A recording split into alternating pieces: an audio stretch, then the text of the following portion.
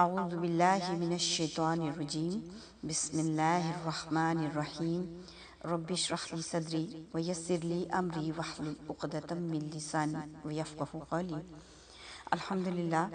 اللہ سبحانہ و تعالیٰ کی عطا سے ہم سب اس گروپ میں جمع ہوئے ہیں. کیوں؟ کہ اس ہستی کا ذکر خیر کو سننے کے لیے، جن کے لیے یہ کائنات سجائی گئی ہے۔ تو اللہ کی ذات کا کروڑوں احسان ہے کہ اس نے مجھ نہ چیز کو اس کام کے لیے چنا۔ تو میں شروع کروں گی اس ذکر کو اپنے والد محترم صوفی محمد صدیق۔ نور اللہ مرکدہ کے اس خوبصورت شعر کے ساتھ کہ نظر و دل کا آب شبنم سے وضو کرتے ہیں جو نظر و دل کا آب شبنم سے وضو کرتے ہیں جو پھولوں کے لب سے نبی کی گفتگو کرتے ہیں وہ، سبحان اللہ۔ تو انشاءاللہ یہ ذکر شروع ہوتا ہے جانب عالم صلی اللہ علیہ وآلہ وسلم کے والد ماجد زبی اللہ جناب عبداللہ سے۔ اب جانب عالم صلی اللہ علیہ وآلہ وسلم کے والد ماجد کے نام نام نامی کے ساتھ زبی اللہ دیکھ کر آپ حیران تو گئے ہوں گے، کیونکہ عام طور پر زبی صرف حضرت اسماعیل علیہ السلام کو سمجھا جاتا ہے۔ مگر حقیقت یہ ہے کہ حضرت اسماعیل علیہ السلام کی طرح حضرت عبداللہ بھی زبی ہیں۔ جبھی تو جان دو عالم اپنی خاندانی عظمت و شرافت بیان کرتے ہوئے فرماتے ہیں کہ میں دو زبیحوں کا فرزند ہوں۔ زبیح یعنی کہ جس کو ذبح کرنے کا ارادہ کیا گیا ہو۔ تو زبی اول حضرت اسماعیل علیہ السلام اور زبی ثانی حضرت عبداللہ ہے زبی زبی عبداللہ کا واقعہ بھی زبی اسماعیل سے کم حیرت انگیز یا کم سٹرینج نہیں ہے، لیکن اس کا پس منظر سمجھنے کے لیے ہمیں بیک گراؤنڈ میں جا کر ماضی کے یعنی کہ پاسٹ کے کچھ پیجز ہمیں فلپ کرنے پڑیں گے۔ ہمیں پیچھے جا کر کھنگالنا پڑے گا پچھلی ہسٹری کو۔ اور ہم اس زمانے میں جاتے ہیں جہاں کے زمزم گم شدہ ہو گیا تھا۔ اب یہ بھی بڑی سٹرینج بات ہے۔ ہمیں تو صرف یہ پتا ہے کہ چشمہ زمزم حضرت اسماعیل علیہ السلام کی ایڑیاں رگڑنے سے جاری ہوا تھا اور اب تک وہ جاری ہے۔ بٹ درمیان میں وہ لاسٹ بھی ہو گیا تھا۔ تو اس کی جو تھوڑی سی ڈیٹیل ہے، وہ اس کو پڑھتے ہیں کہ ایک زمانہ تھا جب مکہ مکرمہ پر قبیلہ بنو جرہم کی حکمرانی ہوا کرتی تھی اور یہ قبیلہ حضرت اسماعیل علیہ السلام کے زمانے سے مکہ مکرمہ میں آباد چلا آ رہا تھا۔ اب یہ قبیلہ آیا کہاں سے تھا؟ اس کی ڈیٹیل میں انشاءاللہ بتاتی ہوں آپ کو کہ جب حضرت ابراہیم علیہ السلام اللہ سبحانہ وتعالی کے حکم سے بی بی حاجرہ اور حضرت اسماعیل علیہ السلام کو جہاں پر خانہ کعبہ ہے نا، اس جگہ پہلے کچھ بھی نہیں تھا۔ جسٹ ریت تھی اور صحرا تھا۔ وہاں لکو دک صحرا کے اندر بیوی بچے کو چھوڑ کر چل دیے۔ تو کچھ نہیں بولے۔ حضرت حاجرہ پوچھتی ہیں، اے ابراہیم، کہاں چل دیے؟ تو وہ پھر بھی خاموش کچھ نہیں بولے۔ تو پوچھنے لگی کہ کیا یہ اللہ کا حکم ہے؟ انہوں نے فرمایا ہاں یہ اللہ کا حکم ہے۔ پھر خاموشی سے وہاں بیٹھ جاتی ہیں اور کہتی ہیں، اگر یہ اللہ کا حکم ہے تو وہ ہمیں ہرگز ہرگز ضائع نہیں کرے گا۔ اور حضرت ابراہیم علیہ السلام کیا چیز ان کے پاس چھوڑ کے جاتے ہیں؟ ایک مشکیزہ پانی اور تھیلا کھجور کا۔ اب اتنی شدید گرمی ہے، ہر طرف ہو کا عالم ہے، ہر طرف ریت، گرم ریت اڑ رہی ہے اور سورج سر کے اوپر ہے اور ٹیمپریچر کی انتہا ہے۔ شدید گرمی کا عالم ہے۔ کچھ کھانے کو نہیں، کچھ پینے کو نہیں، کوئی انسان نہیں، کوئی چرند پرند نہیں۔ صرف کیا ہے؟ اللہ پر توکل ہے۔ اور اس مشکیزے سے پانی پیتی اور بچے کو بھی پلاتی جب وہ مشکیزہ خالی ہو گیا۔ تو اب بچے نے رونا شروع کیا، وہ پریشان ہو کر پھر قریب دیکھا صفا کی پہاڑی، اس کے اوپر جا کر چڑھ گئی پھر وہاں سے اترے مروا پہ چلی گئی صفا سے مروا مروا سے صفا سات چکر لگائے اور آوازیں دے رہی ہیں، پکار رہی ہیں مدد کے لیے۔ اور مین وائل حضرت اسماعیل علیہ السلام پیاس سے رو رہے ہیں، بے حال ہو کر زمین پر ایڑیاں رگڑ رہے ہیں کہ اچانک وہاں سے ایک موجزاتی پانی زمزم جاری ہو جاتا ہے، چشمہ ابل پڑتا ہے۔ سیدہ حاجرہ پاس آ کر کہتی ہیں، زم زم یعنی رک رک اور اس کے راؤنڈ منڈیر سی بناتی ہیں۔ اور پھر اللہ سبحانہ وتعالی نے اس پانی کو ان کی ملکیت بنا دیا۔ اور اس پانی کے ایک خاص اس کی ایک اس کی یہ کوالٹی ہے کہ اس کے اندر ایک ایک بڑی ہی خاص کوانٹی کے ساتھ اس کے اندر منرلز اینڈ نمکیات ہوتے ہیں۔ انسان اگر کچھ کھائے، پیے نہیں، تو سٹل جسٹ اگر زمزم بھی وہ پیتا رہے تو وہ زندہ رہ سکتا ہے۔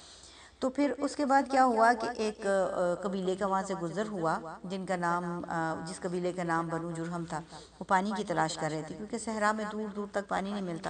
انہوں نے دیکھا کہ پانی کا ایک چشمہ ہے اس کے پاس ایک عورت اور ایک بچہ بیٹھے ہوئے ہیں۔ تو انہوں نے پاس آ کر پانی مانگا۔ تو حضرت حاجرہ رضی اللہ تعالیٰ عنہ نے یہ شرط رکھی کہ میں پانی آپ کو لینے دیتی ہوں، لیکن اس پانی کے بدلے میں آپ مجھے ضروریات زندگی کی چیزیں لا کر کے دیں گے۔ اور پھر اسی طرح ہوتا کہ وہ اس طرح پانی لیتے اور ان کو پھر ضرورت زندگی کی کھانے پینے کی چیزیں اور ضرورت زندگی کی دوسری اشیاء وہ لا کر کے دیتے۔ اور اس طرح آہستہ آہستہ وہ پورا قبیلہ اس پانی کے اراؤنڈ وہ رہنا شروع ہو گیا اور وہ آہستہ آہستہ ان کا نمبر گرو ہونے، ہوتا چلا گیا۔ اور یہ لوگ شروع میں تو بہت ہی اچھے تھے۔ اپنی کردار اور عمل کے لحاظ سے بہترین تھے، لیکن بتدریج بدکاریوں کی طرف راغب ہوتے چلے گئے۔ یعنی کہ گریجولی سلولی کیا ہوا؟ اچھائی سے برائی کی طرف جو ہے وہ گرتے چلے گئے۔ تو رئیس قبلہ یعنی ان کا جو لیڈر تھا، اس کا نام عمر بن حارث تھا۔ وہ ایک بڑا اچھا انسان تھا۔ اس نے بڑی کوشش کی کہ لوگ اپنی روش، اپنی طرز حیات کو بدل لیں اپنے لائف سٹائل کو چینج کریں۔ بٹ لوگوں کو عیاشیوں کا، بری چیزوں کا چسکا بڑھ گیا تھا۔ اس لیے اس کی نصیحتوں کو کوئی سنتا ہی نہیں تھا۔ اب اپنی قوم کے مسلسل رو بزوال اخلاقی حالت دیکھ کر یعنی کہ مسلسل رو بزوال یعنی کہ پستی کی طرف گرتے چلے جا رہے تھے۔ اونچائی سے نیچے کو جب گرتے چلے جا رہے تھے، ان کی اخلاقیات جو ہیں وہ بگڑتی چلی جا رہی تھی تو عمر بن حارث کو خیال آیا کہ اگر میری قوم کے یہی شب و روز رہے ڈے اینڈ نائٹ ان کی یہی روٹین رہی، ان کی بے باقی کا برائیاں کا اگر یہی عالم رہا تو ایک نہ ایک دن ہم پر عذاب الہی نازل ہو جائے گا۔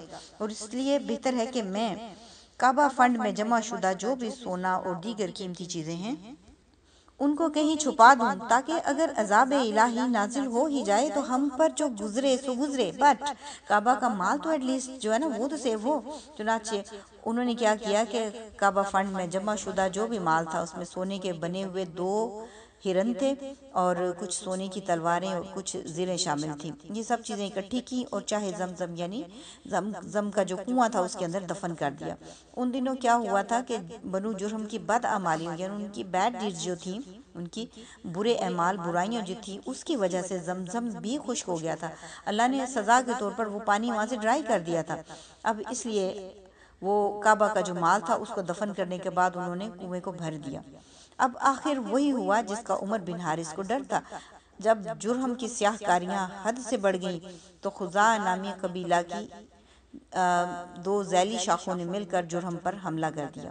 یعنی ان پر کسی دوسرے قبیلے نے ان کے پر اٹیک کر دیا اور جرہم نے مقابلہ تو کیا بٹ بری طرح وہ ڈیفیٹ ہو گئے، شکست کھائی، مگر حملہ آور مکہ پر قابض ہو گئے۔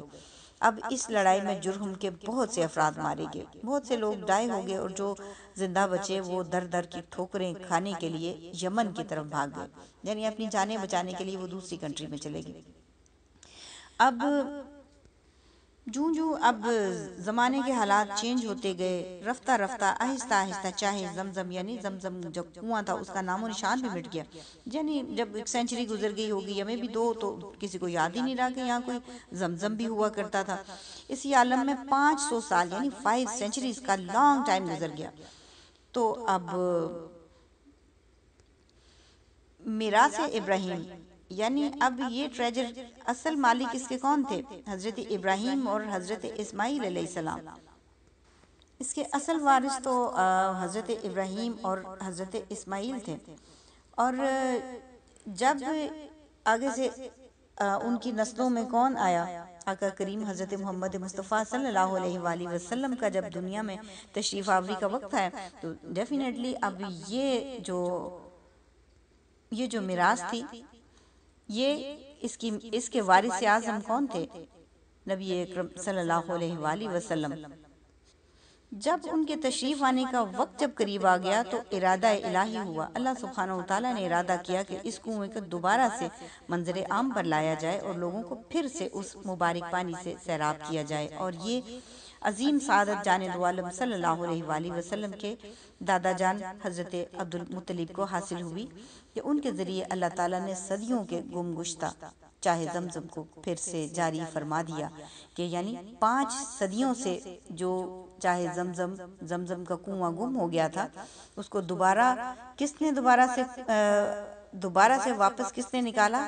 آقا کریم صلی اللہ علیہ وآلہ وسلم کے دادا جان حضرت عبد المطلیب نے تو ایک دن کیا ہوا؟ حضرت عبد المطلیب نے ایک رات خواب میں دیکھا کہ کوئی کہہ رہا تھا، طیبہ کھودو۔ وہ سوچنے لگی، طیبہ کیا چیز ہے؟ تو حضرت عبد المطلب نے پوچھا، مگر کوئی جواب نہ ملا۔ پھر دوسری رات پھر خواب میں دیکھا، کہا، گیا، برا کھودو۔ برا کیا ہے؟ حضرت عبد المطلب نے پوچھا، پھر بھی کوئی جواب نہ ملا۔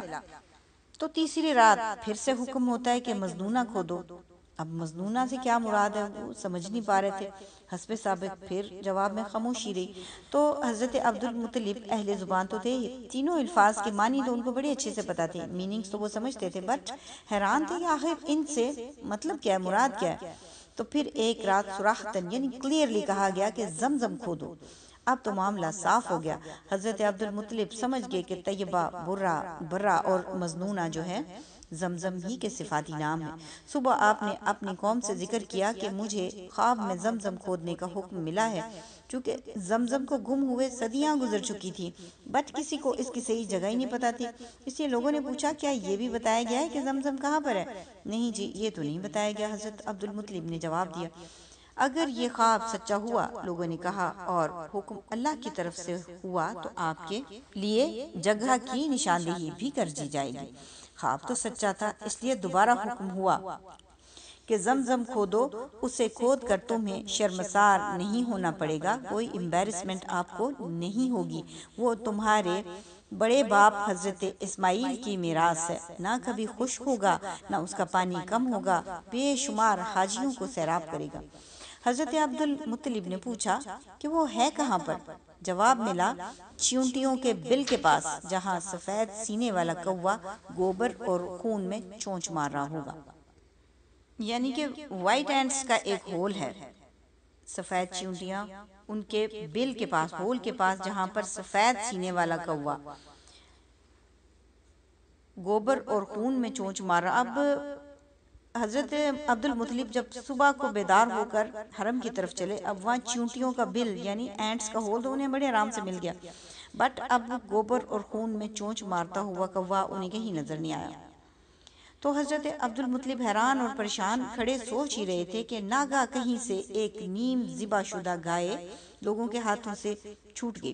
یعنی کہ لوگ کہیں گائے زبا کر رہے ہوں گے کہ وہ ان سے رسی چھڑا کر کے وہ بھاگ گئی اور اس طرح جیسے چھری اس کے گلے پر چلا دی ہوگی بٹ جیسے خون بہتا ہوا اور وہ بھاگتی چلی جا رہی تھی اور وہ دوڑتی دوڑتی آ رہی تھی اور چونٹیوں کا جب بل تھا نا جہاں پر اس کے پاس وہ بے دم ہو کر گر پڑی۔ اور اتنے میں پیچھے سے لوگ بھی آپ پہنچے اور لوگوں نے وہیں پھر گائے کو ذبح کر دیا، اس کا چمڑا اتارا، اس کا گوشت وغیرہ کاٹا۔ اس سارے عمل کے نتیجے میں وہ جگہ پوری گوبر اور خون سے لتھڑ گئی اور تھوڑی دیر کے بعد کہیں سے سفید سینے والا کوا بھی اڑتا ہوا آیا اور گوبر اور خون میں وہ چونچ مارنے لگا۔ اب خواب میں بتائی ہوئی ساری علامتیں پوری ہوگی تو حضرت عبد المطلب کو یقین ہو گیا کہ چاہے زمزم یعنی زمزم کا کنواں اسی جگہ پر موجود ہے۔ تو اب اگلے دن حضرت عبد المطلب نے کدال وغیرہ اٹھائی یعنی ٹولز اٹھائے انہوں نے کہ میں وہاں پہ ڈگنگ شروع کروں گا اور اپنے بیٹے حارث کو لے کر مقرر کردہ مقرر کردہ جگہ پر جب آپ پہنچے اور خدائی کا آغاز کرنے ہی لگے تھے کہ قریش نے شور مچا دیا۔ قریش یعنی ان کا جو ٹرائب تھا، اس کا نام تھا قریش۔ کہ خدا کی قسم، جن دو بتوں کے پاس لا کر ہم اپنی قربانیاں ذبح کرتے ہیں، ان کی درمیانی جگہ میں ہم آپ کو خدائی کی ہرگز اجازت نہیں دیں گے۔ اب حضرت عبد المطلب تو اس خدائی پر خدا کی طرف سے معمور تھے۔ اللہ نے ان کو اپوائنٹ کیا تھا۔ اس لیے لوگوں کے شور اور غوغا سے اور وہ متاثر ہوئے بغیر امپریس ہوئے بغیر حضرت حارث سے کہنے لگے کہ بیٹا، جب تک میں خدائی نہ کر لوں، اس وقت تک ان لوگوں کو مجھ تک پہنچنے سے روکے رکھنا۔ یعنی اپنے بیٹوں کو کہتے ہیں کہ یہاں پر گارڈ کرو، جن لوگوں کو ادھر کسی کو نہیں آنے دینا انٹل میں یہاں پر ڈگ کروں کیونکہ اللہ کا حکم ہے، مجھے تو وہ پورا کرنا ہے۔ واللہ جس کام کا حکم مجھے اللہ نے دیا، اسے میں پورا کر کے چھوڑوں گا۔ قریش نے جب حضرت عبد المطلب کے اس عزم و استقلال کو دیکھا تو ٹھنڈے پڑ گئے اور رک گئے۔ تو اس وقت حضرت عبد المطلب کا ایک ہی بیٹا تھا۔ انہوں نے دل میں خیال پیدا ہوا کہ فی الحال تو یہ لوگ رک گئے ہیں اور خاموش ہو گئے ہیں، لیکن اگر یہ لوگ اپنی بات پر اڑ جاتے تو میرا تو ایک ہی بیٹا تھا، وہ ان کو کیسے روک سکتا تھا؟ تو عدی بن نوفل ایک آدمی کا نام تھا، اس نے تو آپ کو لا ولد یعنی کہ بغیر اولاد والا ہونے کا بھی تانا دے دیا اور کہا کہ عبد المطلب آپ ہم پر روب گانٹتے رہتے ہیں، آپ ہم کتنا روب جھاڑتے رہتے ہیں، حالانکہ